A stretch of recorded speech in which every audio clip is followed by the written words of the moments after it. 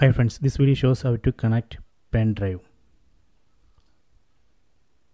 So here I am going to connect this pen drive to TV. We can directly connect this pen drive to USB port in the back side of the TV. So here I am using this USB hub. This USB hub has four ports so I can connect four USBs to TV so I am going to connect this USB to this USB hub. See TV has detected that USB you can see the message here. Then go to settings.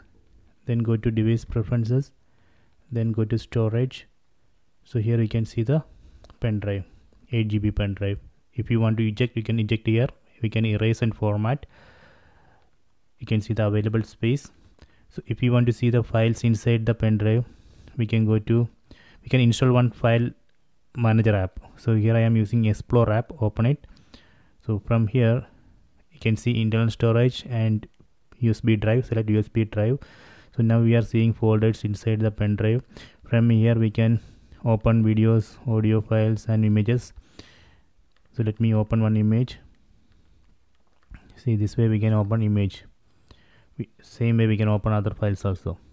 So if you want to copy one file from um, pen drive to TV or TV to pen drive we can do it here using this app.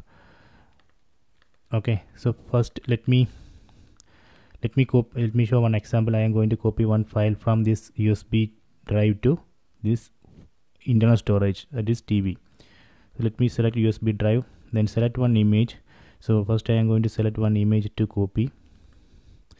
So this is the image i am going to copy. Select it. Then select copy to clipboard.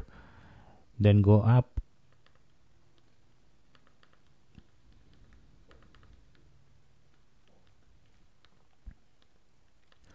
Go up and select